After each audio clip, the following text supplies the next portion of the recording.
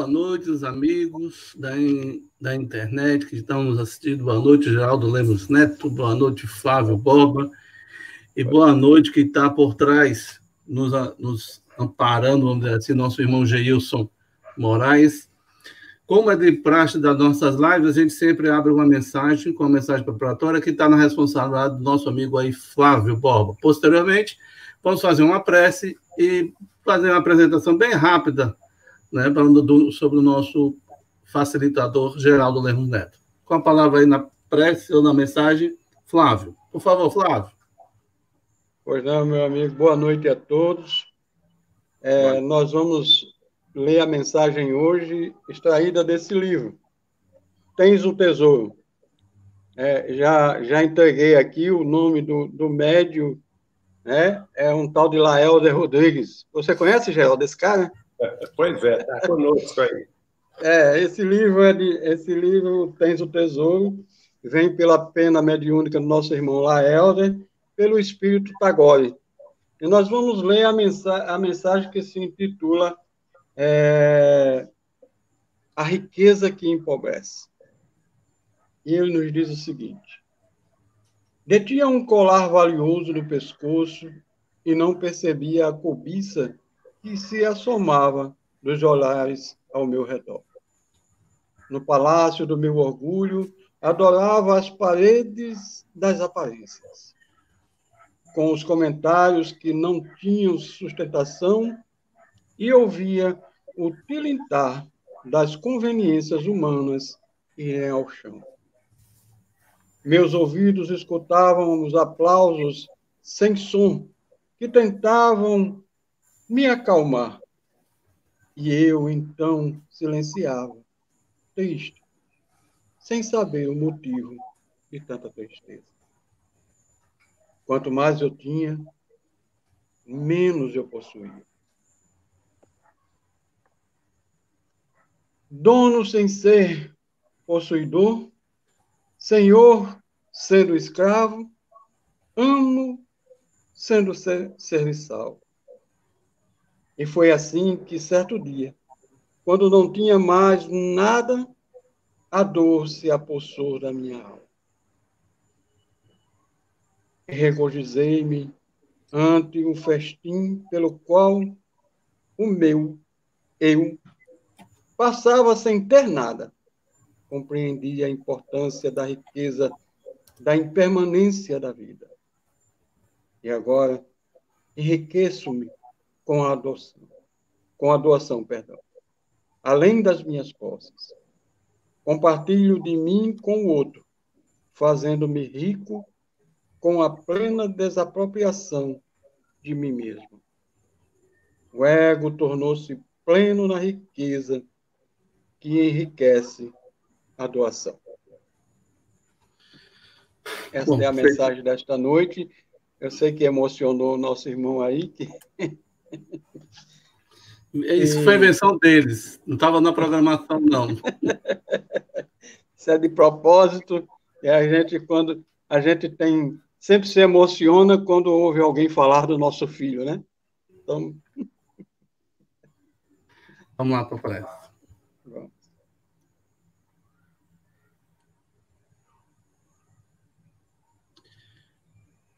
Senhor,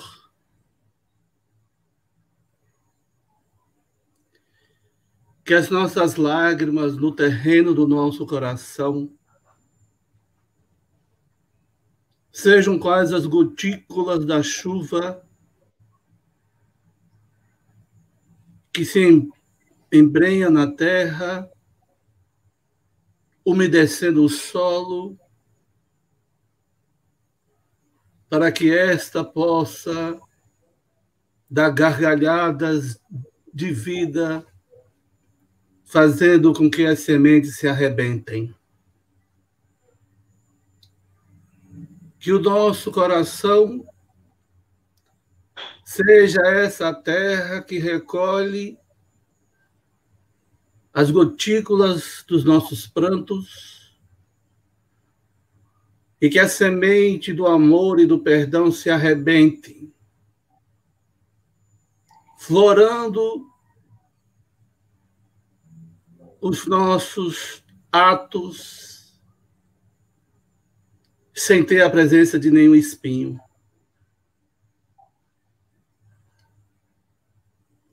E que as pétalas da nossa renúncia, Senhor, se impregne no ar desfazendo os miasmos pestilenciais, aromatizando as nossas atitudes com a fragrância da renúncia e da exemplificação. Para que possamos ter a bênção Jesus de ter a sombra daquele que foi a carta viva do teu evangelho entre nós.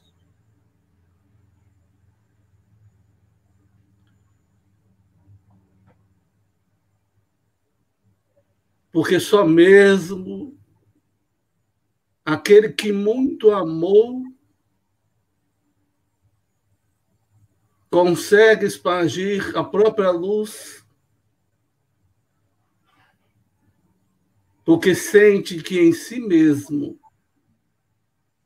é imagem e semelhança de Deus em qualquer situação. Ilumina o facilitador da noite de hoje, o nosso irmão Geraldo Lemos Neto, para que a sua convivência que tanto teve com esta carta viva pelo seu verbo possamos, mesmo que seja de uma forma que o mesmo não consiga expressar com toda a intensidade o que traz no seu coração, ante as recordações que com certeza vai assomar o seu espírito. Mas só falar sobre esse ser Senhor já nos faz estar mais um pouco perto de Ti. E aqueles que nos ouvem hão de nos ouvir possam encontrar as palavras consoladoras para as suas dores porque o remédio, Deus sabe qual ao que tem que ser colocado nas devidas feridas. Sob teus auspícios, Jesus, com a assistência dos benfeitores espirituais de todos nós, permite-nos fazer essa live num tom de harmonia e serenidade e com regozijo em nossos corações, que assim seja. Assim seja. Quem é Geraldo Lemos Neto? A gente vai fazer uma, uns dados bem rápidos. Eu sei que muita gente já conhece, mas outras também não conhecem. Geraldo Lemos Neto é mineiro, ai, de Belo Horizonte, sou, de família espírita, nascido em 1962 Conheceu a doutrina espírita desde muito jovem, ingressando no movimento espírita pela influência de sua família materna, a família Machado de Pedro Leopoldo, contemporâneo de Chico Xavier em sua cidade natal.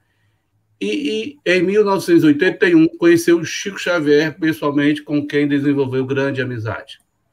Em Belo Horizonte, iniciou as atividades no Espiritismo pelo Cenáculo Espírita Antônio de Pádua e pela União Espírita Mineira, então dirigida por Dona Nenê Aluoto e Martins Peralva, seguindo recomendação do próprio Chico. Participou da Mocidade Espírita, o precursor, e da Cantina Francisco de Assis, ambos da União Espírita Mineira. Fundou o Departamento Editorial da União Espírita Mineira em 1984 no qual coordenou a publicação de 12 livros, sendo 10 deles da Lavra de Chico Xavier.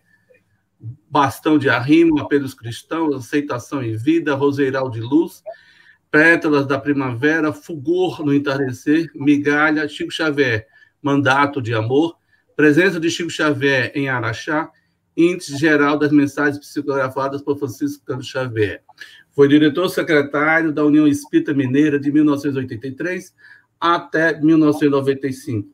É autor da biografia Chico Xavier, Mandato de Amor, lançada pela União Espírita Mineira para comemorar os 65 anos de mediunidade de Chico Xavier em 1992.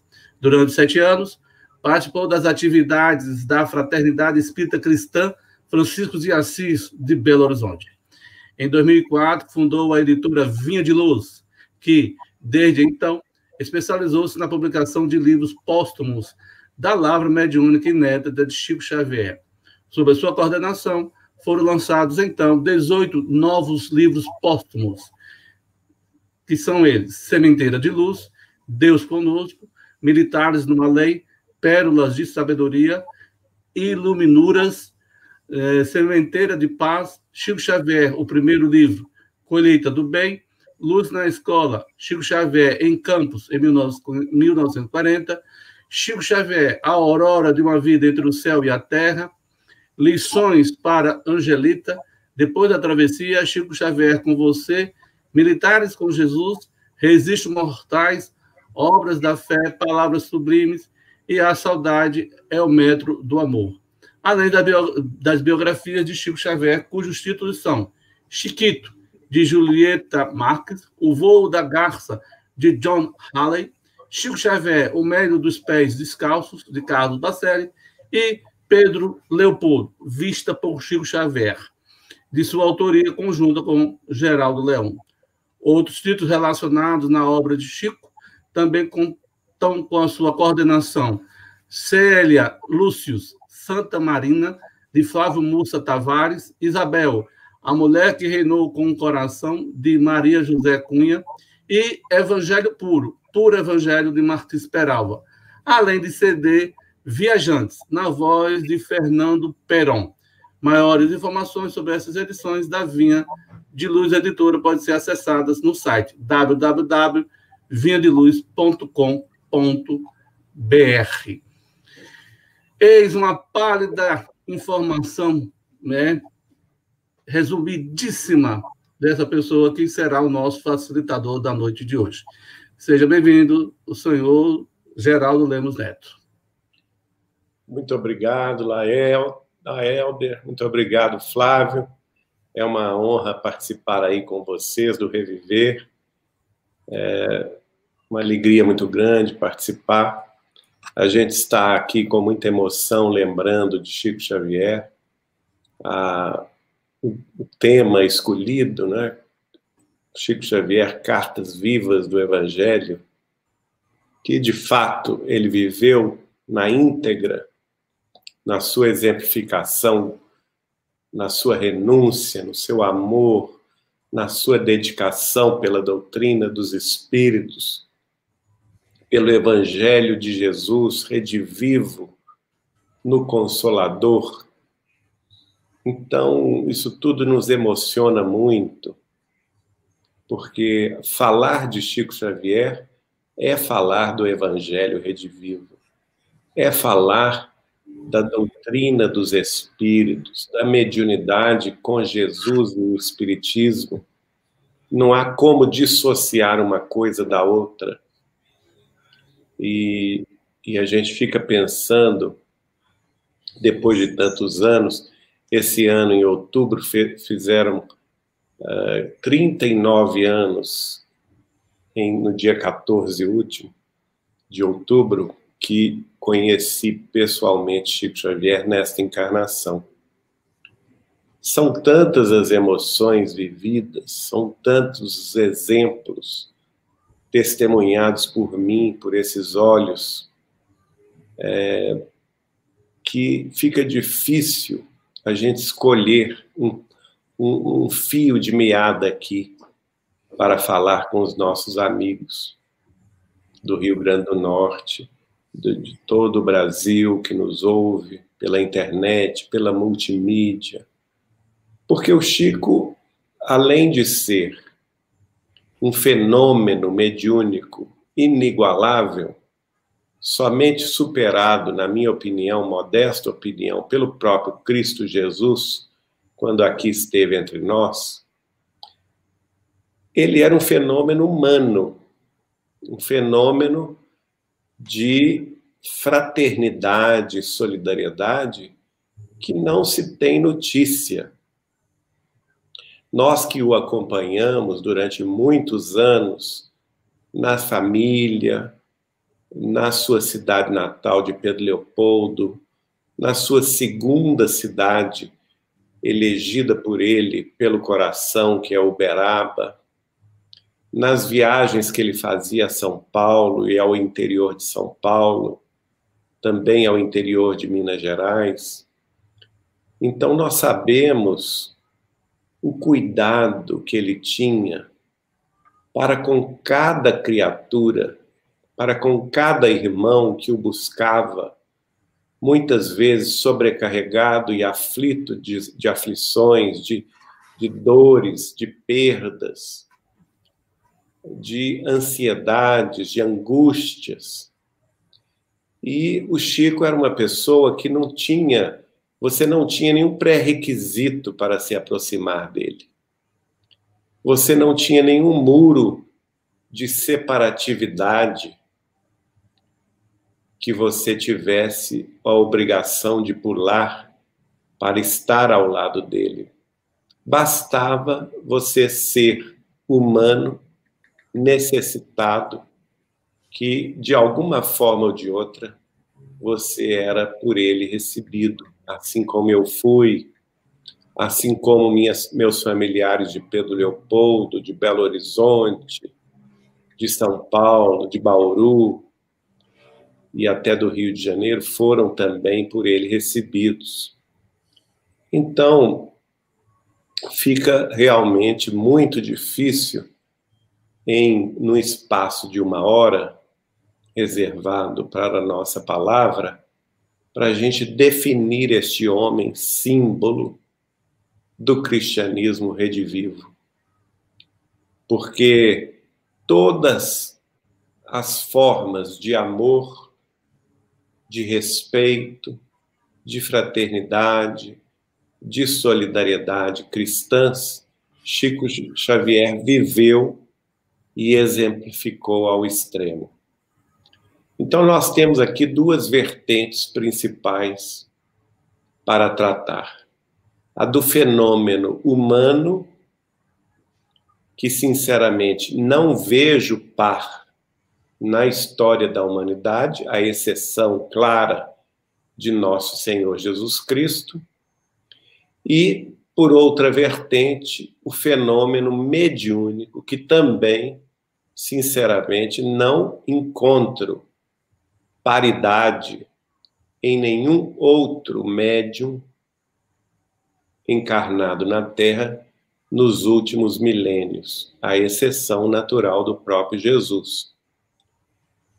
Então, falar de Chico Xavier é falar da mais alta espiritualidade, da mais alta coerência, da mais, do mais alto amor que ele próprio exemplificou em seus 92 anos de existência física, 75 dos quais dedicados à mediunidade com Jesus e o Espiritismo.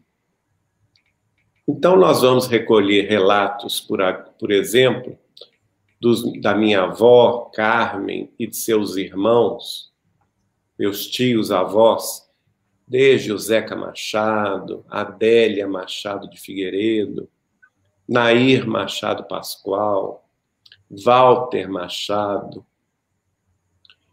é, Pazinha Machado também, todos os, os meus tios, avós que conviveram na intimidade do Chico, e recolher deles as impressões que eu recolhia quando criança ainda, ouvindo os casos familiares nas festas de aniversário, de casamento, é, de fim de ano, enfim, naqueles momentos familiares de, de convívio fraterno na família Machado, eu ficava, assim, criança, fascinado com aqueles relatos. E eu queria conhecer esse homem diferente sobre o qual eles estavam falando. Embora eu fosse muito ainda infantil, eu me lembro que no início da década de 70, logo depois do programa Pinga Fogo, uma prima minha ia se casar no civil em São Paulo, a Valderez Machado Pascoal, filha da minha tia-avó Nair, e eu sabia que o Chico ia ser padrinho de casamento dela. E eu era criança ainda, não tinha completado 10 anos de idade, e pedi, pelo amor de Deus, meus pais, que eram padrinhos também, que me levassem ao casamento de Valdereza em São Paulo, porque eu queria conhecer o Chico. Mas eles foram irredutíveis, não me levaram. E eu, criança de 10 anos de idade, eu me lembro de sentar na escada de minha casa e chorar, abrir o bué, como diz aqui em Minas Gerais, né?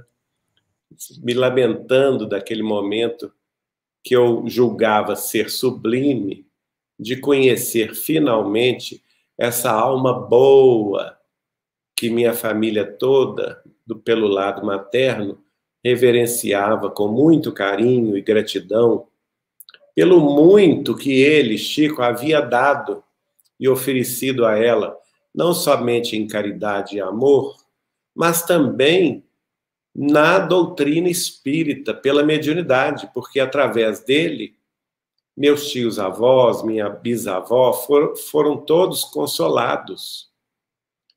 A minha família, é, as, as perdas pela desencarnação na família Machado sempre foram muito numerosas. E sempre é, nós tivemos casos de muito sofrimento, a começar de uma tia bisavó é, de nome Margarida Soares, que havia desencarnado em muito jovem ainda, na cidade de Sete Lagoas, pela queda de um cavalo. E, e isso foi isso ocorreu em 1915. E em 1927, logo no primeiro momento da, da explosão da mediunidade psicográfica de Chico Xavier, ela foi dos primeiros espíritos que se comunicou através dele, é, dedicando mensagens consoladoras de estímulo, de coragem, de paz aos, à minha avó Carmen, aos meus tios avós, à minha bisavó é, Georgina Cândida Machado, mais tarde, pela União Espírita Mineira, nós tiramos o aspecto é, particular dessas mensagens e fizemos um, um livro de sua autoria, autoria espiritual de Margarida Soares, que é um, um livro dedicado à mulher, à mulher mãe, à mulher irmã, à mulher esposa, à mulher filha, nas suas tarefas, junto à família, junto ao amor, junto à fraternidade. E, e este livro me fala, me fala muito ao coração. É, é um livro que foi editado pela União Espírita Mineira. Deixa eu ver se eu pego aqui atrás o, o a capa dele, só um minutinho.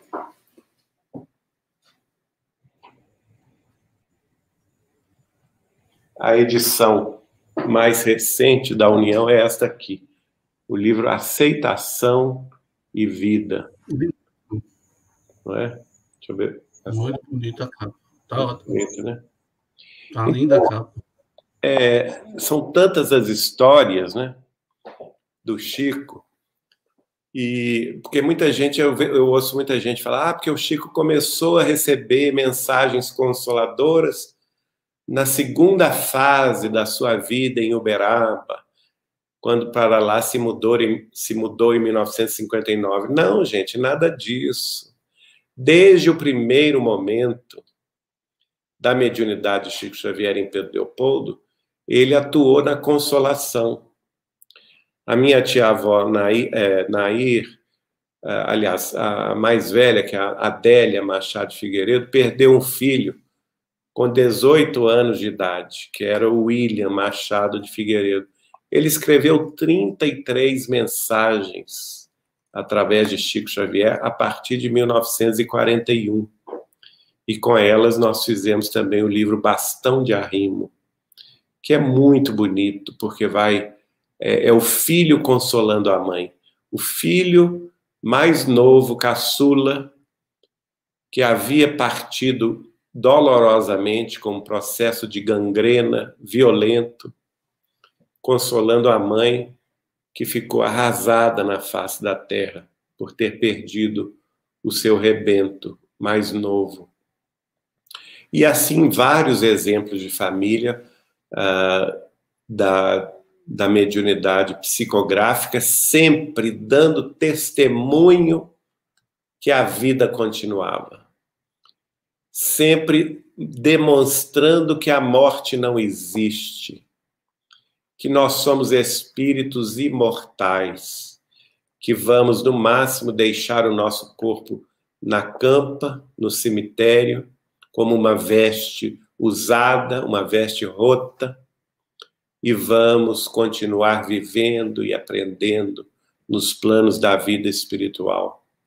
Então, isso foi de grande importância para todos os meus familiares, porque através da sua mediunidade, não somente psicográfica, onde os familiares desencarnados vinham consolar os familiares encarnados, mas também pela sua presença extraordinariamente é, lúcida, como orientador, como guia, como mentor encarnado que ele era, porque ele participava. Eu, eu, por exemplo, que o conheci somente a partir de 1981, o Chico já tinha 71 anos de idade, mas era um jovem com 71 anos de idade, não é? Eu fico pensando, puxa vida, eu me lembro muito bem do, do dia que eu conheci a força daquela personalidade,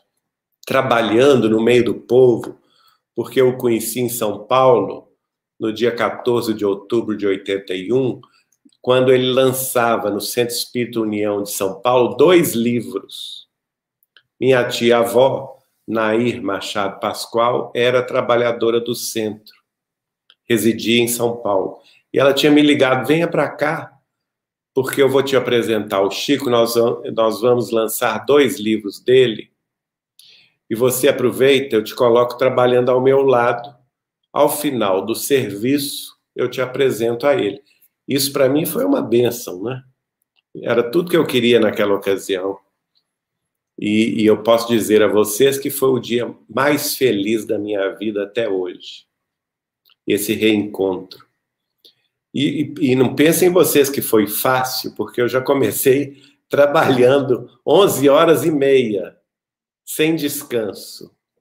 Esse foi o meu, o meu primeiro contato com Chico Xavier, porque a reunião começou pontualmente às oito da noite, mas só veio a terminar no, às sete e meia da manhã do dia seguinte. E a minha tarefa era preparar os livros que Chico Xavier havia de autografar. E eu olhava aquele homem a três metros, eu não podia chegar perto dele, porque eu estava trabalhando, e ele também. Mas eu olhava encantado aquela força moral, de um septuagenário com 71 anos de idade, com a maior alegria da vida. Ele estava exalando a alegria, ele estava, vamos dizer assim, no ápice da, do, da sua felicidade, naquele contato com o povo da cidade de São Paulo, porque, sinceramente, milhares de pessoas passaram na minha frente aquele dia aquela noite, noite e madrugada. Eu, eu quero crer que mais de 10 mil pessoas foram ver Chico Xavier no Centro Espírita União, em São Paulo. em outubro de 81. Como ele ia lá todo outubro, ele voltava e lançava livros lá. E era essa festa, a festa da fraternidade, do amor, da união, da alegria, porque ele tinha uma, uma, uma característica que logo, logo me encantou, que era, não pense em vocês que ele estava ali, é, de certa forma, desgastado diante da multidão. Não. Ele estava feliz diante do povo, no meio do povo. E ele pegava cada livro a gente preparava, a minha tarefa, minha tia, era justamente de abrir o livro na página é, onde ele colocaria o autógrafo. Mas ele não se, se permitia autografar o livro sentado e entregar o livro sentado para a criatura que estava ali para vê-lo. Ele sentado fazia o autógrafo. Ele se levantava depois do autógrafo para entregar o livro de pé para a pessoa que estava ali. Mas antes de entregar o livro de pé, ele abraçava a pessoa, uma por uma. Abraçava primeiro, de pé, cumprimentava, beijava. Se a pessoa beijava ali as mãos, ele beijava as mãos da pessoa em retorno. Depois ele se sentava, autografava o livro. E depois de autografar o livro, ele se levantava e entregava de pé o livro para a pessoa. Ainda dava a cada um um dedo de prosa, uma conversa fraterna, uma curiosidade espiritual. Às vezes ele via o espírito familiar que estava próximo dava essa informação com muita simplicidade, não é? E ao lado direito de Chico estavam as senhoras que, a pedido dele, tiravam espinhos das rosas para que ele pudesse oferecer as rosas sem espinho para cada um daqueles que vinham conhecê-lo ou conversar com ele. E assim terminava aquele contato. E isso se repetia. O próximo, então, ele recebia, sentava e levantava, sentava, autografava, levantava. Numa maratona, minha gente, de 11 horas e meia. Vocês já pensaram o que é isso? Não tinha descanso para ir ao banheiro, não tinha descanso para se alimentar, não tinha descanso para tomar um copo d'água.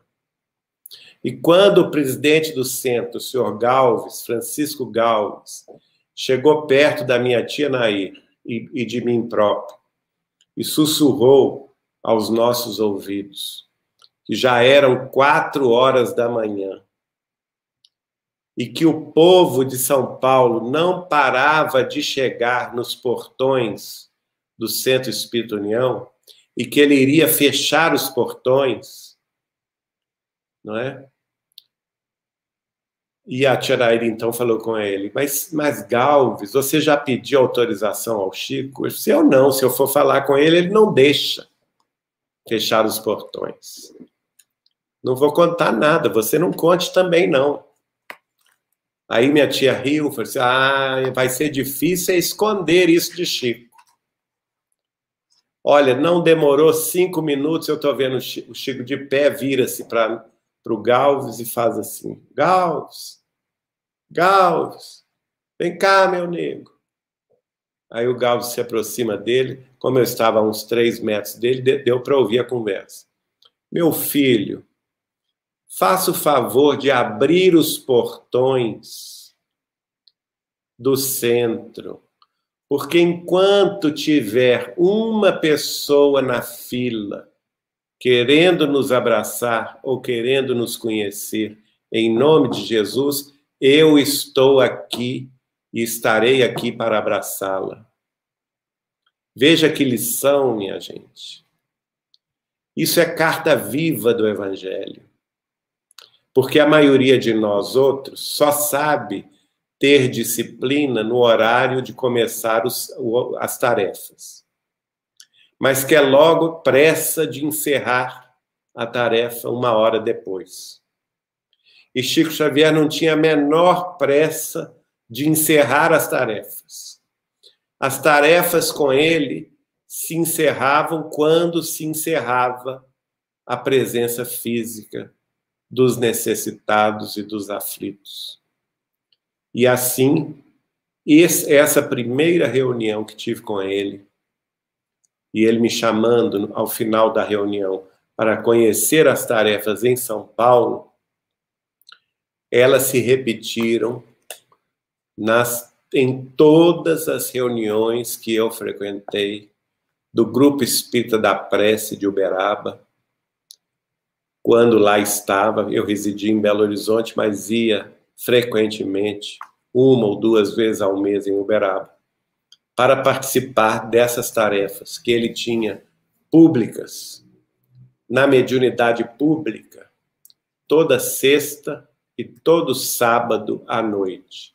Madrugada afora, como eu disse. A reunião começava sempre às oito da noite, mas não tinha hora de acabar. E o Chico nos colocava, a mim, ao Bacelli, a Márcia Bacelli, a Marlene Nobre, os amigos, meus tios avós, os amigos de Pedro, Pedro Leopoldo, de Uberaba, na mesa, e falava conosco. Agora você. Ele escolhia o trecho do Evangelho. A reunião era assim. Ele sempre escolhia um parágrafo do Evangelho segundo o Espiritismo e uma pergunta, uma só, do livro dos Espíritos, de Allan Kardec. Depois que ele escolhia, ele passava ao Wicker Batista, que fazia a prece inicial. E, o, e falava com o Wicker. Agora passa para o pessoal, porque eles vão, eles vão comentar sobre este tema. Ele já é, vejam vocês o comandante que ele era, né? já dava o tom. E um trecho do Evangelho, um parágrafo do Evangelho, tinha que durar 12 horas, minha gente, nos comentários, somada a um, uma pergunta do Livro dos Espíritos. Eu pergunto a vocês, sejam sinceros, vocês sabem falar? Claro que a gente se dividia, mas a verdade é que nós não temos evangelho no coração para falar 12 horas do evangelho, é ou não é? Eu de jeito nenhum. Não é verdade? Nós não temos. Idem. Nós temos, no máximo, duas horas de repertório. Quando se tem, né, Geraldo? Quando, Quando se muito. tem. Quando muito. Quando né? muito. Quando muito. Vejam vocês, o assunto acabava. Lá no grupo Espírita da Prece era assim. E o Chico psicografando, sem parar. Sem parar, sem descanso. Aquele braço, aquela mão, ia escrevendo, escrevendo, sem parar. E você olhava, eu olhava para o Bacelli, olhava para a Márcia, olhava. Eu, eu pensava, meu Deus, e agora, e agora? Quando vai acabar isso? Né? Porque nós somos humanos, vamos ser sinceros com vocês. Chegava a hora que a gente estava com fome, com sono, com sede, e não podia levantar para tomar uma água ou para comer um sanduíche. Nós tínhamos que seguir, porque a tarefa de Chico estava prosseguindo. Quem éramos nós para dar, dar o um mau exemplo, não é? De levantar e esticar as canelas. Não, não podia. Tinha que ficar ali comentando o Evangelho e o Livro dos Espíritos. Mas chegava um momento, com toda sinceridade, que o assunto acabava por mais repertório aquelas dez pessoas ali da mesa tivessem, o assunto acabava. E quando o assunto acabava, a, a assistência, e eu estou falando de um ambiente pequeno, de um centro espírita humilde em Uberaba, sem luxo algum, não tinha forro no teto, era telha direta, de modo se tivesse uma tempestade, você podia contar com a goteira na sua cabeça. Né? É, chão batido, bancos de madeira corridos, sem nenhum conforto, e naquele ambiente com grandes janelões que davam para o jardim, ficavam apinhadas 500, 600 pessoas. Imaginem a cena. 500, 600 pessoas num ambiente mínimo, pequeno. E pensem, não pensem vocês que elas também arredavam o pé.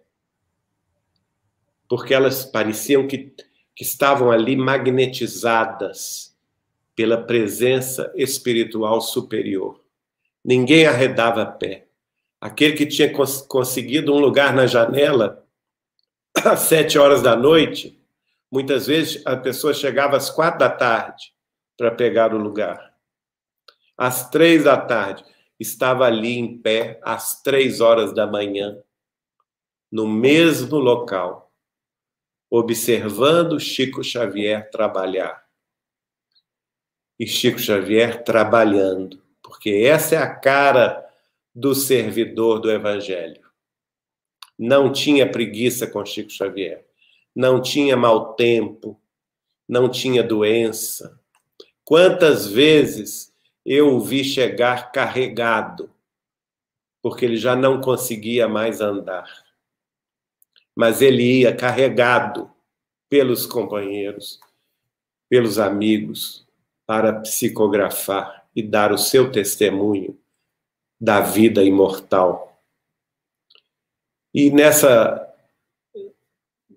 atividade foram assim, de 81 a 2002, 21 anos que eu pude conviver e testemunhar isto. E mais emocionante ainda, já disse que ninguém se afastava. Né? Quando o assunto acabava, na mesa, a gente via Emmanuel escrevendo por Chico Xavier numa página em separado, dando ordens ao Iker Batista, que era o presidente do Grupo Espírita da Prece. Já que o assunto nas nos comentários do Evangelho e, do, e da doutrina se encerrou, faça o favor de colocar o, o CD, o, o o, a, o cassete, né? Naquela época era fita cassete. A fita cassete da música tal e tal. Emmanuel ordenava.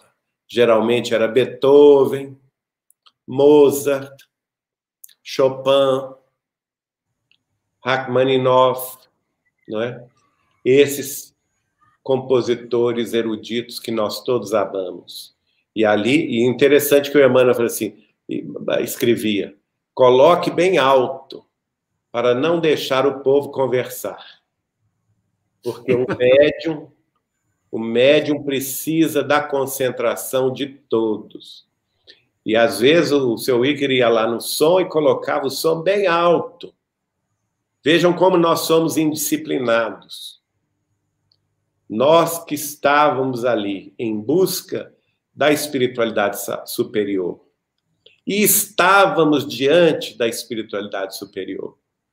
Não tínhamos disciplina mental suficientemente uh, treinada para oferecer ao médium Chico Xavier os eflúvios e as forças magnéticas que seriam necessários para o desenvolvimento tranquilo de sua tarefa. E assim ele ia psicografando sem parar. Às vezes parava às três da manhã, às vezes às quatro, às vezes às quatro e meia. Vejam bem.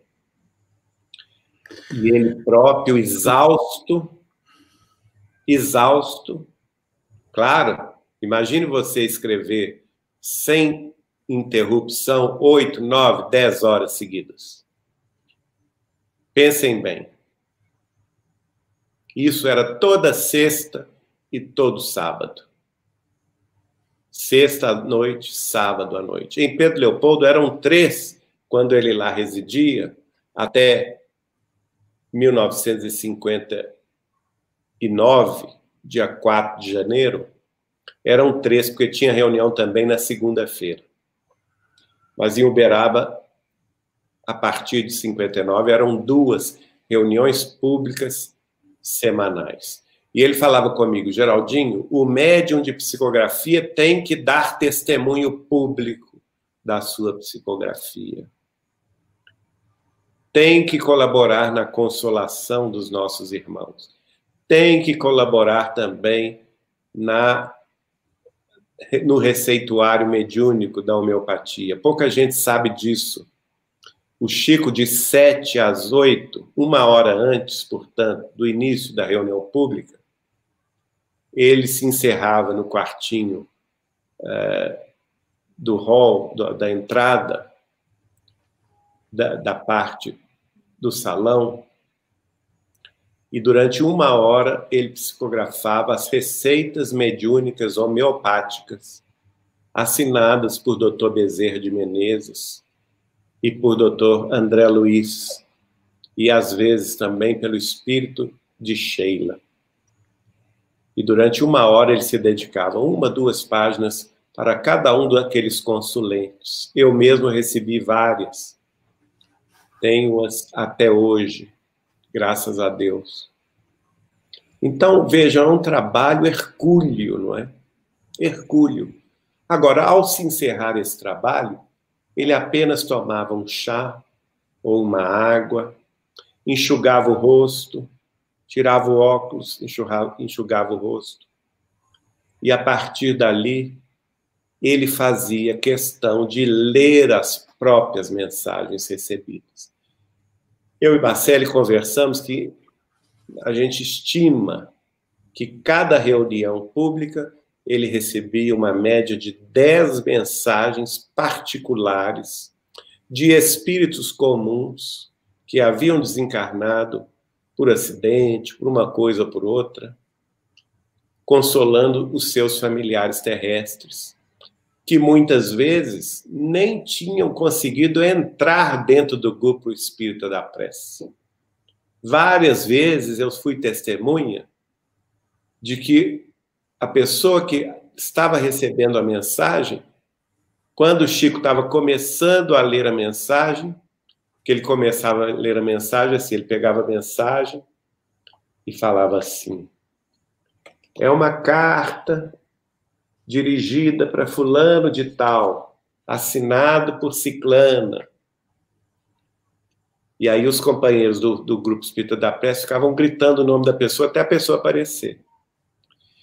E aí, muitas vezes, a pessoa estava lá na rua, porque não tinha. Era tanta gente no centro no grupo espírita da prece, que não, não, se chegou muito tarde, não conseguiu entrar. Então ficou no passeio. E muitas vezes, a gente via depois a própria pessoa testemunhando isso, o ônibus da pessoa tinha acabado de chegar do interior de Minas, do interior do Paraná, do interior do Rio Grande do Sul, do interior de São Paulo, do interior de Goiás. E a pessoa surpresa, mas eu acabei de chegar.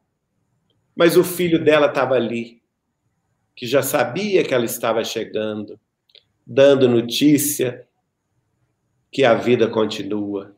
E os detalhes inconfundíveis, inquestionáveis da identificação desses espíritos eram simplesmente impressionantes. Porque cada uma dessas dez mensagens tinha, em média, 120, 130, 140 páginas, cada uma. E nessas páginas estava a revelação da identificação do espírito comunicante com amplos detalhes, inconfundíveis, porque os próprios familiares reconheciam isso de forma tão emotiva. E era tão bonito ver essa festa da vida além túmulo, da sobrevivência do espírito após a morte, da vida eterna, que a gente nem conhecia a família que estava ali, mas a gente chorava com elas. Tal a emoção, tal a alegria do reencontro entre os familiares desencarnados e os familiares aflitos, angustiados que haviam ficado na terra. E nós ali ao lado deles chorávamos com eles. Tal a emoção do momento. E eles ficavam estupefatos com a quantidade de detalhes que essas mensagens traziam. O nome do bisavô, da bisavó, da tia-avó, o nome da ama preta, que ainda no século XIX havia amamentado como escrava uh, ancestrais da família, como eu já tive condição de testemunhar uma família da cidade de Luz, no interior de Minas Gerais, que a própria receptora da mensagem, da filha, a dona Vilma, é, a princípio não reconheceu aquela, aquelas pessoas mas depois foi conversar na Cidade de Luz com suas tias-avós, quase centenárias, e elas reconheceram todos os espíritos citados na mensagem de Chico Xavier. Ou seja, nem a receptora, a beneficiária da mensagem, sabia os detalhes que a mensagem trazia e que só foram confirmadas, confirmados depois por familiares mais idosos dela na cidade de Luz. E assim sucessivamente. Era um espetáculo de luz, de consolação, de esperança, de coragem, de bom ânimo.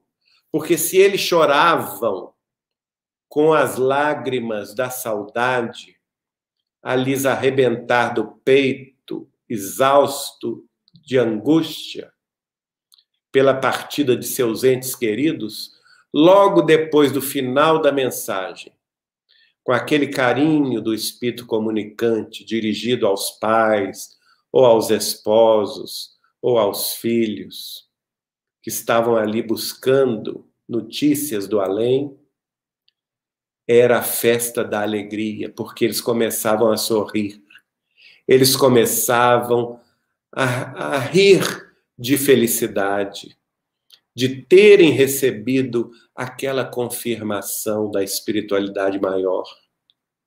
E qual não era a gratidão dessa gente, dessas famílias, para o médium de Deus, Chico Xavier, para o médium de Jesus, nosso Senhor, Francisco de Paula Cândido, mais tarde Francisco Cândido Xavier, ou simplesmente Chico Xavier, o cisco de Deus. Então é realmente uma mediunidade ímpar que eu não vejo em nenhum outro médium, seja espírita cristão ou seja de qualquer outra escola religiosa, como aqui eu testemunhei vendo Chico Xavier trabalhar a realidade da identificação dos espíritos e muitas dessas mensagens se transformaram em centenas de livros.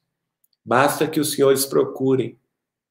Na relação dos livros psicografados por Chico Xavier, aqueles que têm a, alcunha de espíritos diversos, geralmente são esses, vão trazer essas belezas da vida imortal porque as mensagens, embora particulares, espíritos desencarnados, dirigidos, que dirigem a sua mensagem consoladora aos que ficaram na Terra, elas têm o, o, o dom de serem também mensagens educativas para nós todos.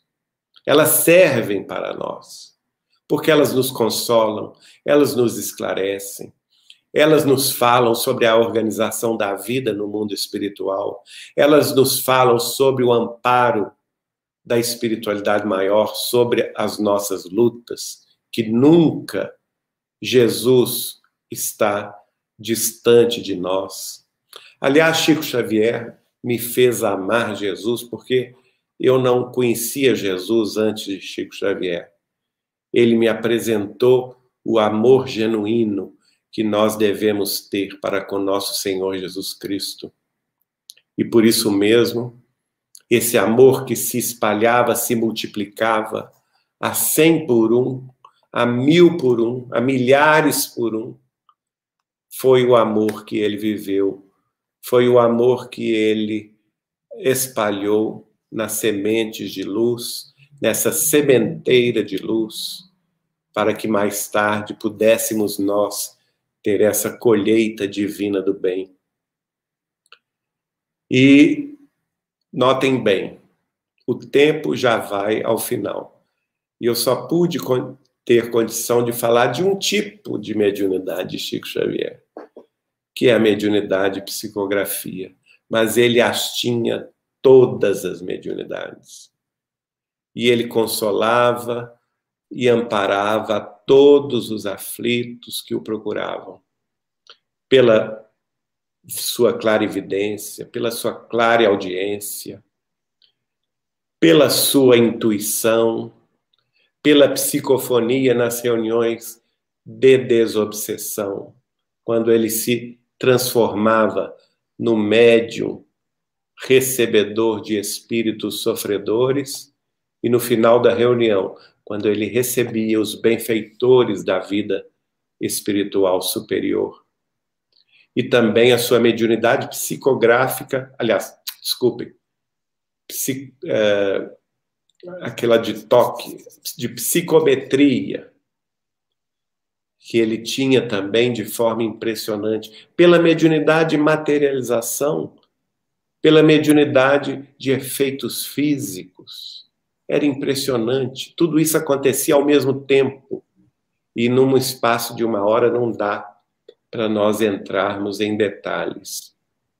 Mas vocês, eu creio que já sentiram a mensagem.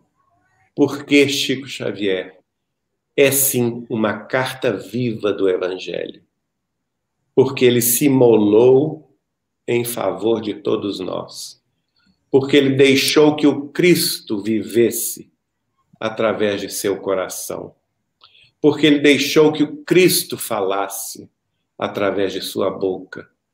Porque ele deixou que o Cristo iluminasse a todos nós através de sua mente gloriosa, porque ele deixou que o Cristo nos abraçasse com os seus braços e nos consolasse com a sua caridade.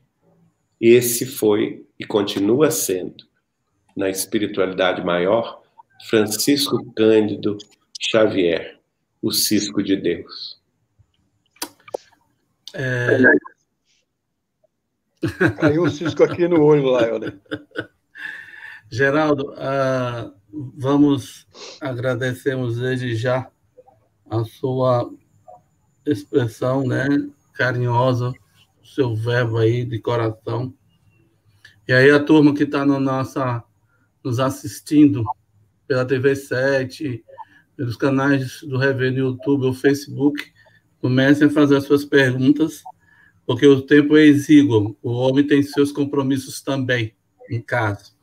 Mas permita-me fazer uma, uma abrir uma pergunta, algumas perguntas. É, Chico Xavier. Na verdade, são algumas. Chico Xavier se fez Chico Xavier ou já assim já o era? É a primeira. A resposta é simples. Hum. Dona Neném Aluoto, que presidiu a União Espírita Mineira por 33 anos, que é a federativa estadual do estado de Minas Gerais, e que conheceu Chico Xavier por 60 anos, foi amiga particular dele por 60 anos, ela falava conosco assim: Chico é Entendi. É, ele, ele era um espírito que já era do jeito, como você disse, que, que já era do jeito que era. Desde criança. Veio, certo. E veio ensinar como ser a gente ser, ser ser humano, ou ele era um ser humano para mostrar para a gente como ser o espírito bom? Olha, eu tenho convicção que Chico é a reencarnação de Allan Kardec. Como Allan hum. Kardec, ele veio é, codificar a doutrina, mostrando-nos o lado filosófico, científico e religioso do Consolador. Como Kardec, ele trabalhou 15 anos em, na França de todas as luzes e escreveu, se nós contarmos cada revista espírita de um ano como sendo um livro, ele escreveu 33 livros em 15 anos. Mas o próprio Espírito de Verdade fala com ele que seria necessário que ele ficasse na Terra por 200 anos. Mas como isso não era possível pela lei natural, era necessário que ele voltasse ao mundo espiritual, ficasse lá por um pouco e retornasse para cumprir com a segunda etapa de sua missão. E o próprio Kardec escreve no item Minha Missão, da, do, do livro Obras Póstumas, uhum cálculo dele, ele estaria de volta à Terra no mais tardar no final do século XIX ou no início do século XX. Então, quando ele veio e ele fala comigo, quando ele, enfim, porque ele não admitia inicialmente que era Kardec, ele desviava do assunto. Uhum. Eu perguntei a ele, Chico, posso te perguntar uma coisa? Pode, mas assim, olhando pelo, por cima do óculos. E aqui eu tremi, eu tremi todo, não é? Pode perguntar uma coisa? Assim, pode, mas assim, né? E aí, Você ainda teve coragem de fazer a pergunta? Eu tremi todo. Aí eu falei assim, o senhor eu pode... Dito, não, eu esqueci. O senhor pode dizer onde anda o espírito de Allan Kardec hoje? Aí ele não aguentou a minha pergunta e deu aquela gargalhada para trás. Sabe aquela gargalhada gostosa? Porque, gente, não pensem vocês que o Chico era uma pessoa triste, não. Apesar de todo o sofrimento, toda a luta que ele passou, ele era alegria em pessoa. Ele vivia com alegria, ele espalhava alegria, a presença dele era a presença de alegria. Então ele deu aquela gargalhada gostosa, assim, jogou o corpo para trás da cadeira, ficou me olhando assim fixamente e falou assim: É, pode-se dizer, Geraldinho, que ele anda trabalhando muito. resposta bem mineira. Olha só, ficou em cima do muro, mas uma resposta inteligente. Entendi. É. Nessa é, resposta ele disse tudo. Não é sem dizer muita coisa, ele sem disse, dizer, tudo, disse tudo. Mas eu, como jovem ainda que era, né, não fiquei satisfeito. Ah, ele me deu um nó aqui, me deu um laço aqui, mas, mas depois, isso foi na década de 80. Na década, em 92, o Adelinda Silveira, um grande amigo nosso e de Chico, escreve um livro que é autorizado e revisado pelo próprio Chico, que, aliás, está sendo, olha que coisa, não, não existe coincidência, está sendo relançado hoje em Uberaba. Hum, muita honra! Olha só. Então, eu convido a todos vocês a conhecerem esse magnífico livro que, no dizer de Emmanuel, vacinou a doutrina espírita. Vejam bem, a importância desse livro. O livro chama-se Kardec Prossegue. Uhum. E é autoria do nosso irmão da cidade de Mirassol, São Paulo, cujo nome é Adelino da Silveira, e que foi revisado pelo próprio Chico. O Adelino publicou várias biografias do Chico, casos do Chico. Todos os livros foram revisados pelo Chico. E esse principalmente, né? Então, o Adelino solta esse livro em 1991, final de 91, início de 92. E eu recebi o livro pelo correio, autografado pelo Chico. No final do livro, ele expõe a tese do Chico Ser Kardec. Então, vou ao Uberaba, agora eu ficou mais coragem, né?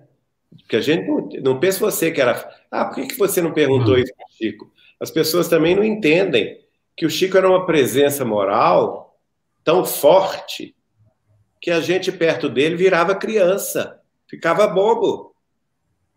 Eu ia, por exemplo, de carro de Belo Horizonte a Uberaba, demorava cinco horas, seis horas de carro. E lá no, no meio do caminho eu ficava pensando as perguntas que eu ia fazer a ele. Em chegando lá, eu esquecia tudo. Né? Ou então, a presença mental dele era tão forte que parecia que ele estava ouvindo a gente no carro perguntar, porque na hora que você chegava na casa dele, ele ficava respondendo uma atrás da outra, sem que eu fizesse a pergunta. Compreende? Esse era o Chico. E era um perigo pensar perto dele. Porque se você pensava alguma coisa que não devia pensar, ele te dava logo uma lição. Né? E normalmente nós, seres humanos, vamos dizer assim, da Baixada, a gente pensa bobagem. Né? É verdade. Então. A gente não escorrega, a gente cai logo de uma vez. É. Então, eu, eu recebi com muita alegria esse livro autografado pelo Chico em casa e voltei querendo perguntar a ele. Mas ele que me pergunta: o que, que você achou do livro Adelino? E eu falei: ah, Chico, eu achei a expressão da verdade. Mas veja Kardec dentro dele. Por que, que você achou que é a expressão da verdade? Hum. Ele queria ver o meu raciocínio. Não era simplesmente porque ele tinha autografado o livro ou porque o Adelino tinha escrito o livro que eu ia aceitar, correto? Ele queria uhum. ver o raciocínio por trás. E a, história é longa, daria outra palestra aqui. Mas no final, no final das contas, ele assume de fato que era Kardec, com muita emoção, falando do, do, do passado, passava a mão assim, olhando para cima e chorando, as lágrimas caindo, de molhar o paletó. E eu abri o bué também, junto com a Eliana, minha esposa. A gente chorava, não sabia nem por que estava chorando. Não é? Mas tal, tal a, a, a, a emoção daquele momento que ninguém vai me tirar isso. É engraçado, tem gente que não acha que Chico é Kardec, e acha que a gente está inventando, que não sei o quê. Olha, pois eu falo com eles, ó, ninguém vai, vai me tirar essa verdade inconteste, não é? Porque aí, com muita emoção, ele fala assim: Pois é uma coisa muito curiosa este fato, meu filho.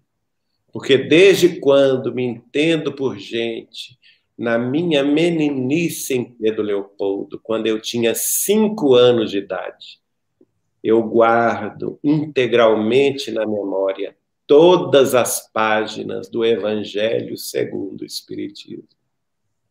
Uhum. E chorando, ele se levanta, pega outro exemplar do Kardec, prossegue e me autografa na minha vista. Quer dizer, chancelando a nossa conversa, não é? Entendi. Então, é... ele já veio, resposta, ele já veio pronto, sim.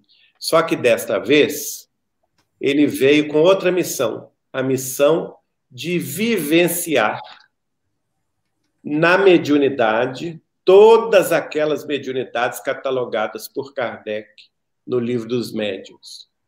E vivenciar na fraternidade, que Kardec não teve tempo de fazê-lo, todos os ensinamentos do Evangelho segundo o Espiritismo. É, Geraldo, é, qual foi a atitude que Chico teve de expressão humana que você que digamos que despertou em você o seu lado em você despertou em você o lado divino. Você é que entendeu a minha pergunta. Entendi. Qual foi a atitude humana que Chico teve que em você despertou em você o lado divino? Olha, que pergunta difícil de responder. Porque conviver com ele, nesses 21 anos, eram tantos, tantos momentos sublimes, divinos, que eu não posso é, dizer a você que eu vou escolher um momento, porque foram vários momentos. Mas o, o, o que talvez tenha é, me levado ao êxtase foi uma vez que, inclusive, eu estava precisando estudar, naquela época eu cursava o Ciências Econômicas na PUC Minas, Pontifícia Universidade Católica de Minas Gerais. E economia você tem que ler muito, não é? E eu tinha provas na semana seguinte, muito difíceis, e eu precisava estudar muito. E eu tinha ido a Uberaba a pedido da Eliana, o, o irmão dela, Vivaldo, morava com o Chico e fazia a diagramação de todos os livros do Chico. E eu não podia deixar de ir. Então, mas aí eu pedi ao Chico nos domingos, porque domingo era o dia que o Chico dedicava à tarefa do correio. Qual que era a tarefa do correio? Era o dia inteiro ele sentado na cadeira respondendo cartas, mandando livros e mensagens a, a, aos amigos ou às pessoas que escreviam para ele. E é muita gente, viu, gente?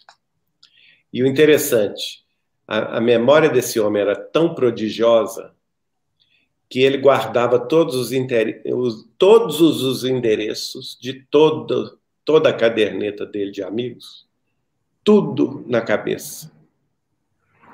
E ele subscritava na minha vista, pedia para eu ajudá-lo, ele me dava a caderneta de endereço, mas eu não ajudava coisa nenhuma, porque ele fazia tudo sem me perguntar. Só depois que ele escrevia o endereço da pessoa que ele me perguntava: confere aí. Nesses anos todos, nunca teve um erro de um CEP. Ele lembrava até o CEP. Esse era o Chico Xavier. Pois bem, Nesse dia do correio, eu não podia ajudá-lo, porque eu tinha que estudar. Então, eu pedi licença a ele, se ele permitisse que eu uh, estudasse. Me expliquei por quê, ele disse: Não, meu filho, claro, fica tranquilo, senta ali naquela cabeceira, que eu vou ficar do lado de cá escrevendo aos nossos irmãos. E assim foi. A tarde toda, isso começou depois do almoço e foi a tarde toda. Eu não sei quantas horas eu estudei sem parar, talvez três, quatro horas. Mas sabe que eu estava tão concentrado que eu me abstraí de que eu estava em Uberaba na presença de Chico Xavier. Então, esqueci, para mim eu estava em casa estudando e concentrado nos livros, esqueci que ele estava ali do meu lado. E de repente eu lembro dele, olhando os livros, eu lembro dele assim. E fico, e fico pensando, gente, como eu amo Chico Xavier. Que amor que eu tenho ao Chico. De onde será que vem esse amor? Né? Fiquei pensando.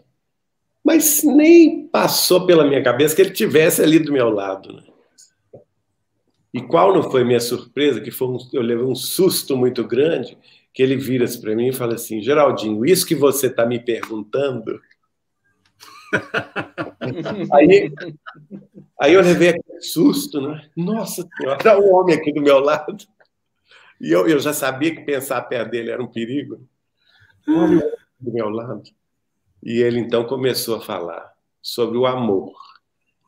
E o amor e as reencarnações sucessivas e ele usou uma, uma expressão tão linda, querendo dizer para nós que o amor é um tecido, e ele fazia assim com os dedos, assim, ó, trançava os dedos, que é um tecido multicolorido, que vai sendo tecido por Deus, ligando as almas umas às outras, com muita paciência e com muito amor, para que esse tecido multicolorido, unindo as almas, unindo os espíritos, lhe reflitam a grandeza. Flávio, alguma pergunta aí, Flávio? Se não tiver, eu tenho. Pode perguntar, meu amigo, que hoje, hoje eu estou aqui mais é para chorar mesmo. Eu só tenho uma, eu só tenho uma sugestão, só uma colocaçãozinha.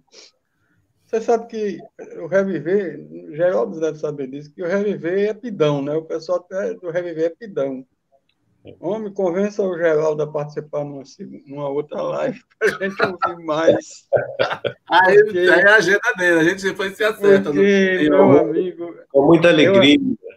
Eu, eu, eu, estou aqui extasiado, pode acreditar. Eu sei que eu, sei que eu deveria estar aqui prestando atenção para fazer as perguntas, mas eu sou muito honesto, eu não estou conseguindo, não. Não, mas nós estamos juntos. É uma alegria muito grande participar com vocês aí da TV7, do, do Reviver. Então, é, o Chico tem me proporcionado essa alegria. Aliás, ele me avisou isso. No passado eu não compreendia, mas ele avisou que eu ia reencontrar os amigos. Uh, inclusive, ele falou muito claramente que chegaria o dia em que a doutrina seria divulgada em multimídia. Veja bem, isso na década de 80, nem internet a gente tinha, nem celular. Né? E hoje, eu nem sabia o que era isso. Ele perguntou: o que é isso, Geraldinho? Eu disse: eu não sei, Chico, tenho a menor ideia. Mas pelo nome deve ser a união de todas as mídias. Por que, que o senhor está me perguntando isso? Porque os espíritos estão aqui me dizendo que chegará o dia em que a doutrina será divulgada em multimídia. Esse dia chegou. E hoje nós estamos aí unidos pelo coração, não precisamos viajar, gastar dinheiro, tomar ônibus, tomar avião, tomar carro, gastar hotel, passagem, alimentação. E online, instantaneamente, a gente une os nossos corações na mesma vibração de amor, de fraternidade, que deve ser a constante de nosso movimento espírita, de nossas uniões fraternas em favor da divulgação da doutrina. Geraldo, eu sempre digo, por, quando eu tenho oportunidade, e esta é uma das oportunidades que eu, eu tenho, e, entre tantas que eu vou ter, se Deus quiser, eu sempre digo o seguinte: saudade não é coisa ruim. Não. Você só sente saudade de algo que é bom. Ninguém sente saudade de coisa ruim. A minha pergunta é a seguinte: qual é a maior saudade que você sente de Francisco Canto, de Paulo Francisco Canto Xavier? Aquela saudade, aí eu vou essa saudade na intimidade socializar essa intimidade. É, daquela que você você sente e segura para as lágrimas não cair. Realmente, essa dizem que, aliás, é um, um dos espíritos que escreveu através dele, né? Que a saudade é o amor que fica, né? Então, realmente, essa saudade é uma saudade de uma coisa boa. A princípio, ela dói muito, mas depois você se acostuma. Porque o amor que fica, ele continua, não é? Eu costumo brincar que as pessoas, eh, quando me convidam para fazer alguma palestra, algum seminário, alguma live, e eu falo de Chico Xavier, eu estou matando a saudade dele. Porque é como se ele estivesse conosco aqui. E eu tenho certeza que, espiritualmente, ele está nos ouvindo. Porque ele sabe que eu falo com o coração da, daquilo que nós realmente sentimos por ele e vice-versa. E eu tenho certeza que vocês também ouvem e também falam com o coração. E isso é o que importa, né? Agora, pessoalmente, é, nada substitui, embora a gente tenha notícias deles, da espiritualidade, uma vez ou outra, um sonho, um desdobramento que de vez em quando acontece, mas nada substitui aquele momento, porque nós ainda somos matéria, não é? Aquele momento da nossa uhum. chegada em Uberaba, naquela, na época que eu, eu já me hospedava com ele, e que chegava na casa dele, aquele momento de pegar naquela mão que, sinceramente, parecia que não tinha osso, aquela mão que era quase fluídica, é?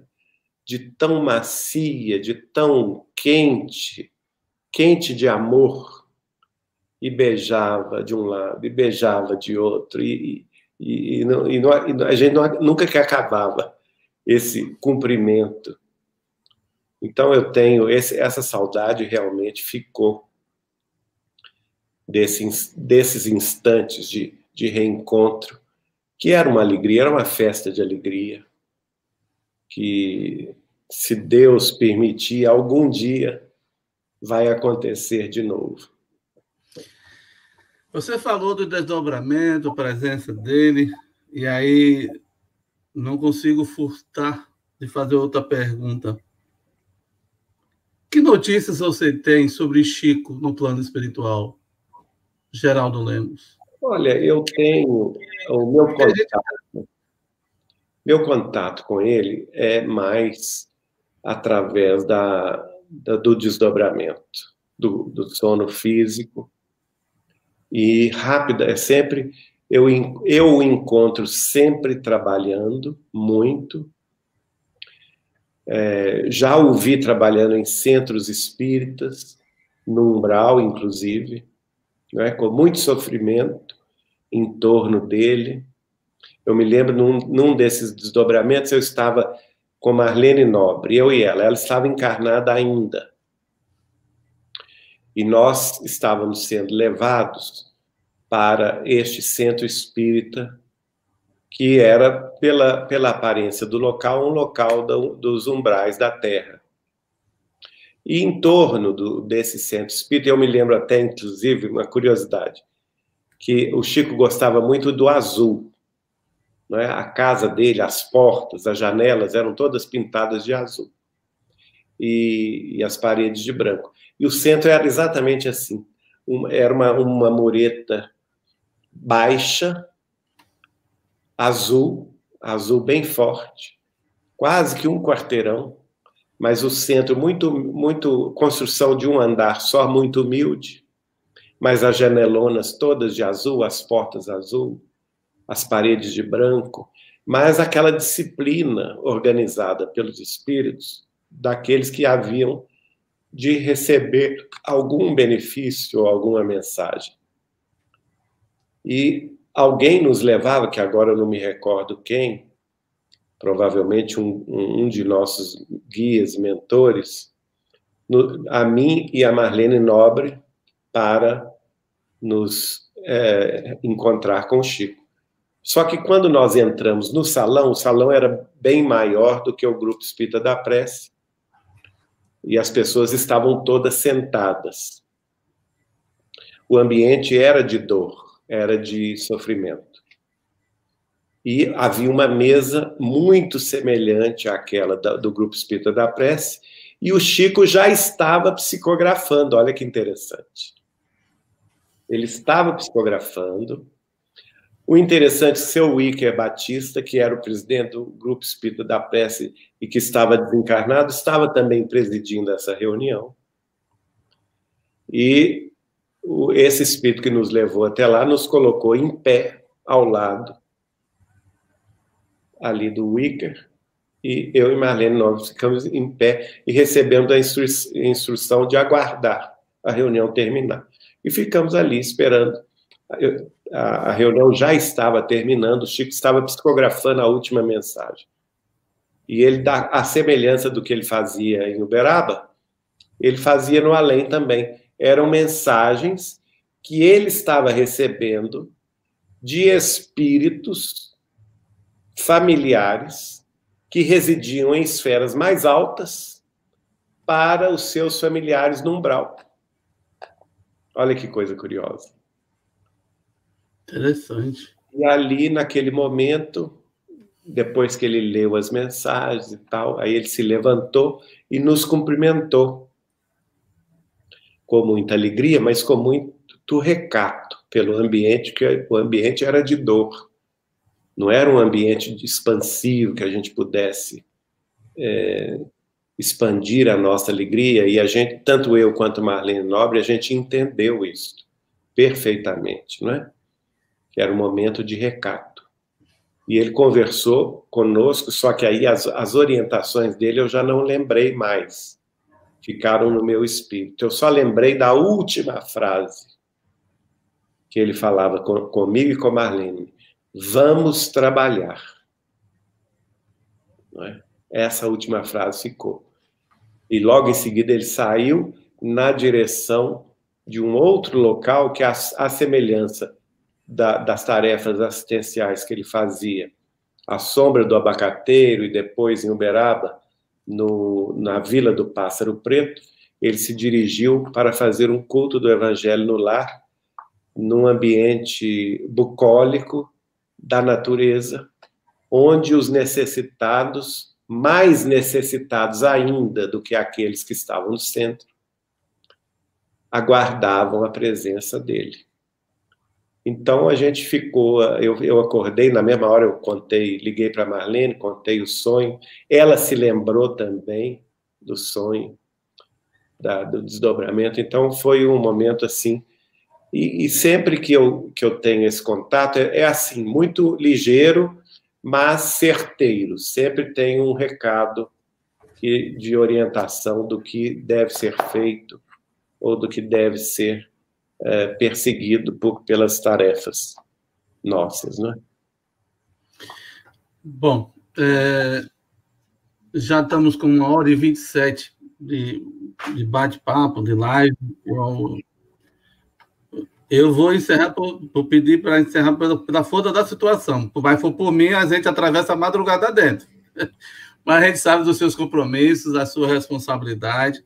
Tá todo mundo assim, tá tão, acho que tá todo mundo maravilhado com essa live que não tem nem pergunta. Ana Kilza, é, é, Maria Cristina, Marília Simões, Lucilene Cruz, Joacim Marques, Joelma Moreira, Luana da Luz Gomes, Rita Maria, e tantos, são tantas as pessoas, né? O próprio é, Vitor, Vitor Holanda, Elis Patrícia, né? pessoal de Porto Alegre também, Sônia Márcia, e são várias partes do país, mas o pessoal está assim, está, está em estado de, como se diz, de beneste, só olhando você falar diante dessa questão, né? Quem sabe vai o envolvido é, pela emoção. É, eu, eu, é o que eu digo. É, a minha função é a função do papagaio espírito.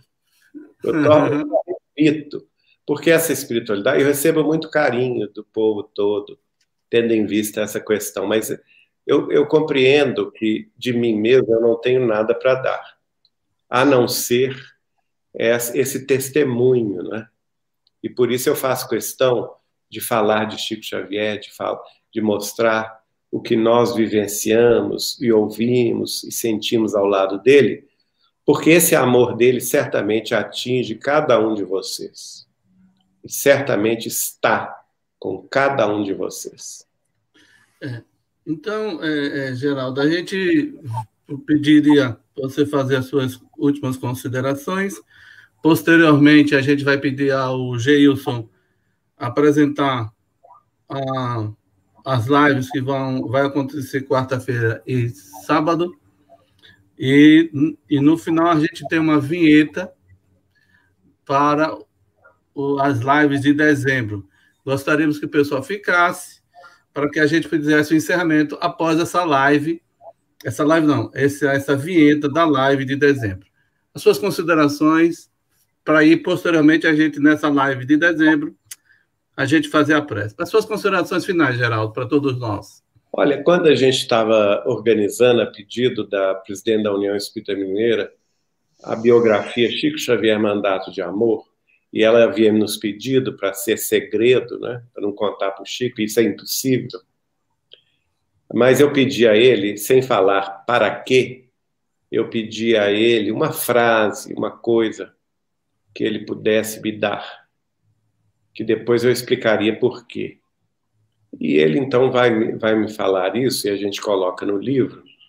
E se ele tivesse autoridade suficiente de um governador de estado, de um prefeito, se ele tivesse qualquer autoridade na vida pública das nossas cidades brasileiras, que ele mandaria executar é, em todas as proximidades, em todas as grandes avenidas das nossas cidades, em outdoors, em letreiros grandes, aquela frase de nosso Senhor Jesus Cristo, que é até hoje insuperável: Amai-vos uns aos outros, como eu vos amei.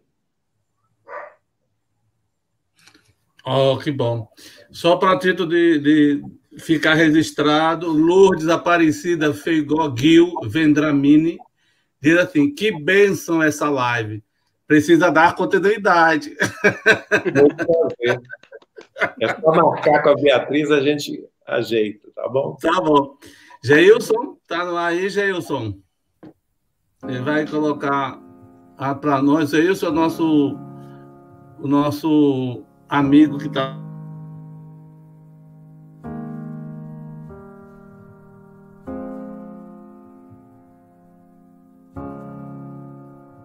Peraí. É, não. Vai botar aí.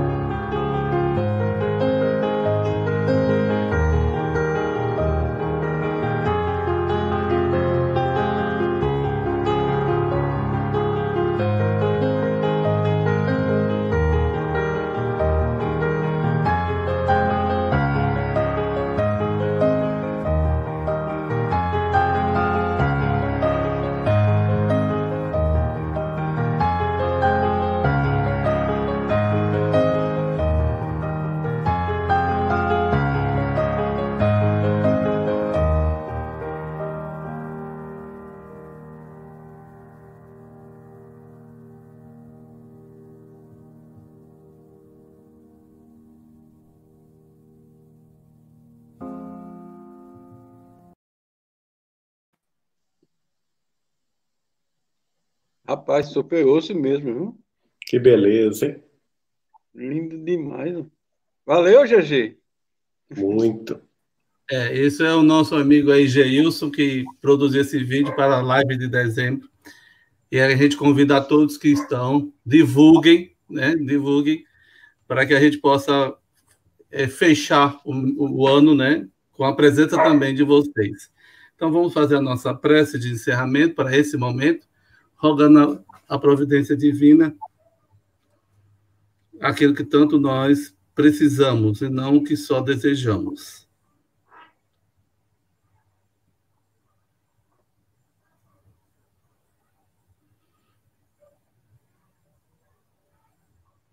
Entardece, Senhor.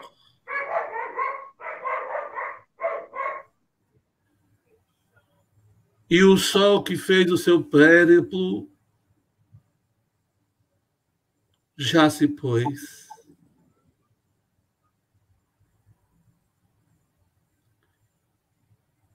A noite se avizinha e a madrugada se faz presente.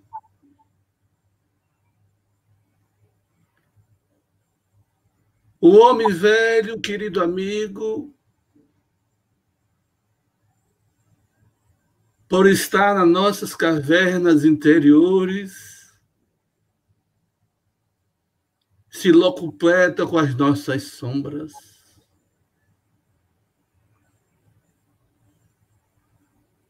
Mas sentimos como as estrelas brilhando no zimbório infinito, as estrelas apontando o amanhecer que são as nossas consciências, e a luz que vige nelas, Senhor, é a presença de Deus. Mostrando para nós que o passado tem que ser visto como uma lição aprendida. Porque o arrependimento é o convite do futuro que espera ser aceito sob os passos da esperança que move os nossos atos. Envolve de luz, Senhor, todos quantos que nos assistiram e hão de nos assistir. Planifica as atitudes do irmão que fez se aproximar de nós a carta viva do Evangelho, Chico Xavier. verbalizando para nós, no seu livro de memórias, a vivência que o mesmo teve com teu insigne discípulo. Planifica-o para que possamos com ele verticalizar-nos diante da mensagem indelével do bem acima de tudo. Sob a tua bênção, sob o teu amor, Senhor, rogamos a permissão para encerrar essa live, formulando os votos de muita paz e amor para todos, que assim seja. Que assim seja. Boa noite.